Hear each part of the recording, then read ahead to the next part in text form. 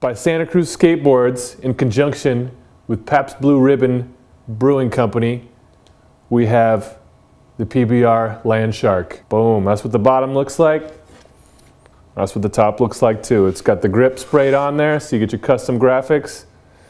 Crispy, Pabst Blue Ribbon. Uh, the Land Shark, this shape and components is one of our more popular cruisers for Santa Cruz.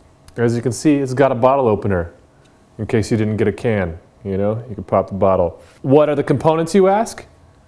Bullet 137 trucks.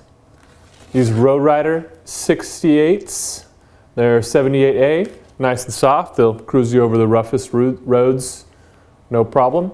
Um, and they appear to be beer colored. I'm guessing that's why we did that color. They're beer wheels. Awesome.